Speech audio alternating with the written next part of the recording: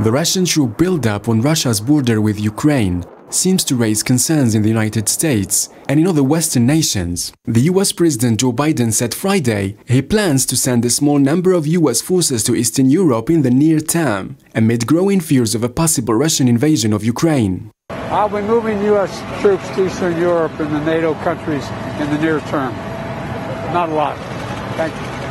Biden's comments come hours after the top US military general warned the Russian invasion of Ukraine would be horrific for the country. He urged Russian President Vladimir Putin to choose a diplomatic path instead.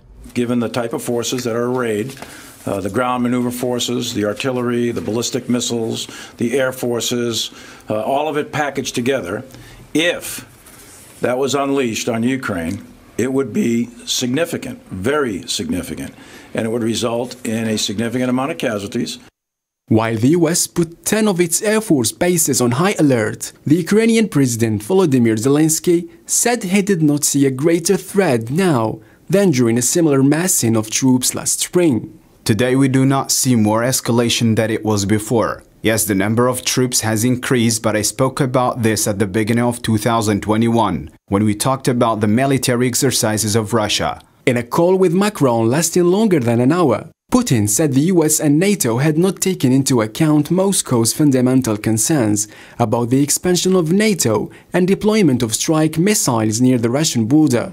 333! Fears in the West about a potential invasion of Moscow to Kiev were reassured by Russian Foreign Minister Sergei Lavrov, who made it clear that Russia does not want war with its neighbor Ukraine.